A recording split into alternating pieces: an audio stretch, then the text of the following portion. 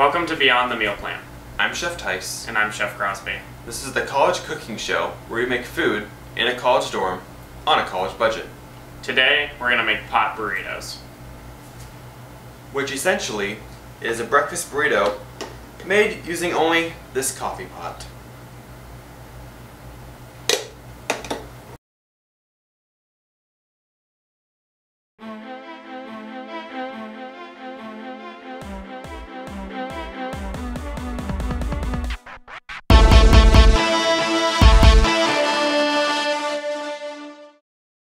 First off, let's start by making the coffee.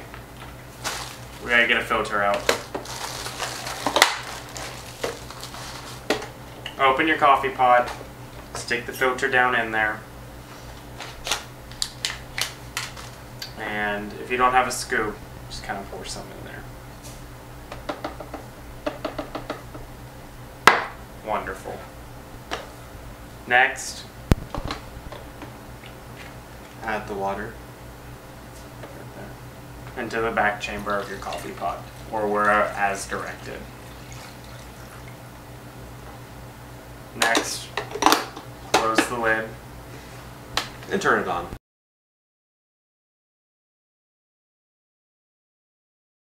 Once your coffee is made, Pour it in a mug.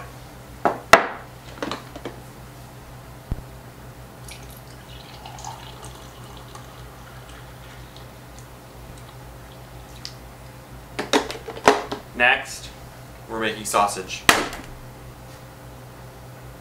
Take your sausage, open it, and put about half of the sausage into the coffee pot.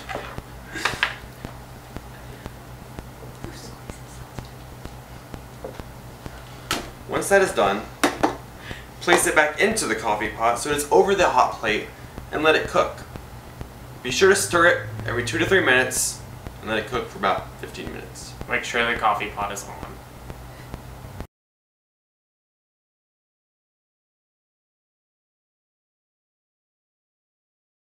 Once your meat is finished cooking, pour it into the bowl.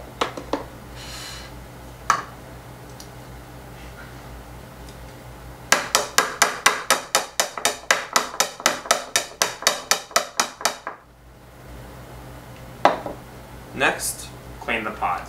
now that the pot is clean, add the beans.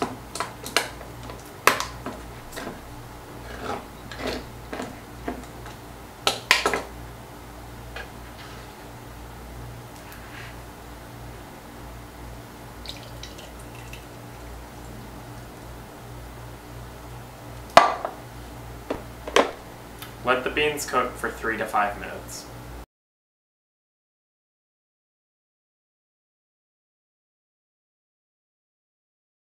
Next, strain the excess water from the beans.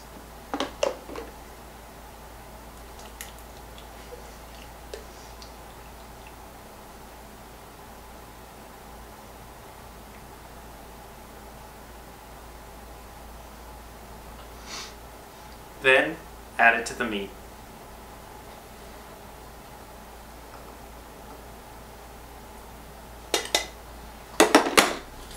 Now we cook egg. Before you do that, clean your pot. Now that the pot is clean, we will add our eggs.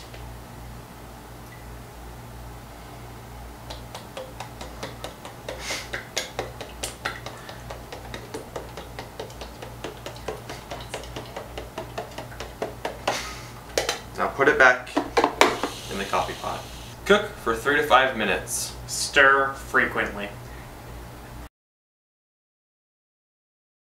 Now that the eggs are done, assemble your burrito shells and toppings for the burritos. Now that we have that, make the burrito.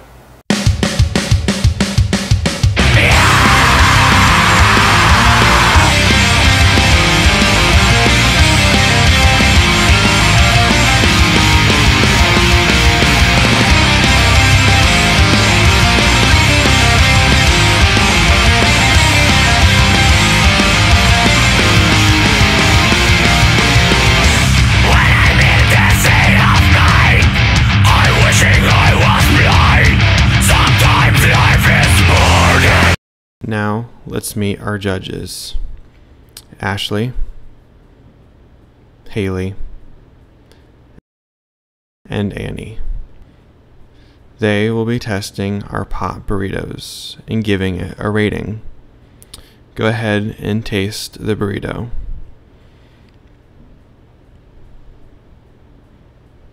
And here they go in for the first bite. Annie can't contain her excitement.